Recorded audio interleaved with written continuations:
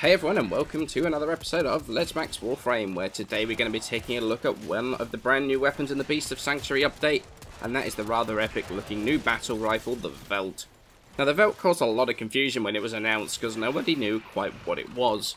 Couldn't work out whether it was a weapon like the Latron or another assault rifle or just, an, uh, well basically a sniper rifle. However, now it's out we know exactly what it is and that is it's a new weapon similar to the Latron series. You can find the blueprint for it in the Tenno lab in the dojo, it doesn't require anything too nasty in the research, although we don't know what the crafting requirements are just yet, um, so we're not sure whether it needs any other weapons in the crafting of it. But once you do have it crafted, you get a rather amazing looking semi-automatic rifle sporting a huge 90 damage a shot. Most of that damage comes as slash, which is really nice.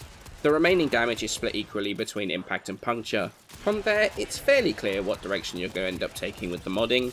The crit chance of 22% is more than enough to make a crit build work on here, especially with that 2.2 times crit damage multiplier as well.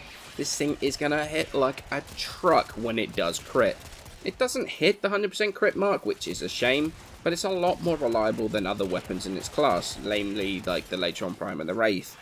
Its status chance also of 22% means that a status build can work really nicely on here as well, either to proc corrosive reliably if you combine it with some dual stats, or by combining hunter munitions on here with viral for pretty reliable procs to go along with the bleed damage.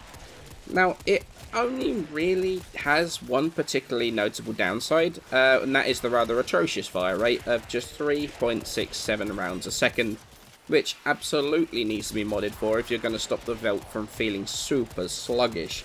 Other than that, it is super accurate. The magazine size of 16 isn't the largest, but with a reload speed of just 1.8 seconds, it doesn't feel bad at all. Um, even if you reload pretty often, like I have a tendency of doing, all around it is a very solid rifle. The only thing is that's holding it back is that fire rate, and that is fixable with just a little bit of modding. It does have a special feature as well, which, I mean, it doesn't really affect the actual performance of the weapon that much at all. Um, but it is that if you use a secondary fire button, that's a default middle mouse on the uh, um, on the PC, you get a toggleable zoom level, and that allows you to zoom in a bit more and hit those targets a bit further away. And it allows you to land those shots at range that little bit easier.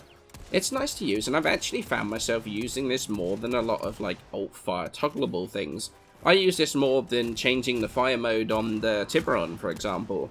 So while stat-wise it doesn't do anything at all, I actually like it quite a bit. In terms of the build I eventually went with, pretty much a standard crit build. Uh, I've got five Forma on here, all of which are Vs. Uh, I've got Serration and Split Chamber on there for damage and multi-shot. Prime Shred, not just for the punch through, but the additional fire rate as well. That makes it feel so much more usable. Um, then we have the user crit mods. Got Point Strike, Vital Sense for the crit chance, crit damage. Uh, two dual stat elementals. I've got corrosive damage on here with Malignant Force and High Voltage. And then I got Vigilante Armaments. Because of the high status chance, I decided to go with the corrosive on here to strip armor effectively, especially when combined with the additional multi-shot that Vigilante Armaments brings, which when I tested seemed to work better than Viral and Hunter munitions. Vigilante Armaments also has the chance of taking those uh, yellow crits and making them orange crits as well, which really, really can help boost the damage output of the weapon. However, if you don't want to push the status that much, you could always add additional Forma, put on primed cryo rounds, malignant force for viral damage, and um, that gives a decent chance to proc. And then if you switch vigilante armaments out for hunting munitions, that is a very viable build as well. Obviously, you could also use mods such as bladed rounds for extra crit damage on a kill. Uh, Argon scope is actually a really decent um, uh, option here, and that will take the crit chance over 100%. So there's a few things on here you could do just to tailor the uh, tailor the build to your own playstyle and make the weapon feel good for you. So what do I actually think of the weapon? Is it any good? You know what? It kind of sneaked up on this one, but yeah, it is really damn good.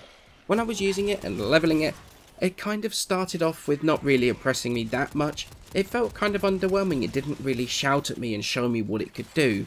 However, once I had it finally fully built, this thing is absolutely amazing. It feels great. The fire rate isn't too much of a problem once you have it modded, and if you like your semi-auto weapons, you are going to love this. You can see it in the footage in the background, dealing with high level enemies really easily. No problems whatsoever. Obviously, it's not designed to be a quick and efficient killer. It's not going to be able to slaughter enemies, uh, for example, to keep your efficiency up in Sanctuary, um, the Sanctuary Onslaught game mode. You're not going to kill weapons, uh, kill enemies quick enough for that. But you can still see it killing these guys really easily and really quickly. So you can be sure that if you take this into your sortie, it's going to be able to deal with whatever you're realistically going to come up against. The weapon looks amazing, sounds interesting, it feels really good to use. There's not that much to talk about it, to be honest though. It's good, performs well, and it's good all around. I think that if you like the single shot rifles like the Latrons or the single fire mode on the Argonak, you're going to like the Veldt a lot. So I hope you enjoyed my short look at the Veldt semi-auto rifle. I'll have videos on the other weapons coming soon, but for now, many thanks for watching, and I shall see you in the next video.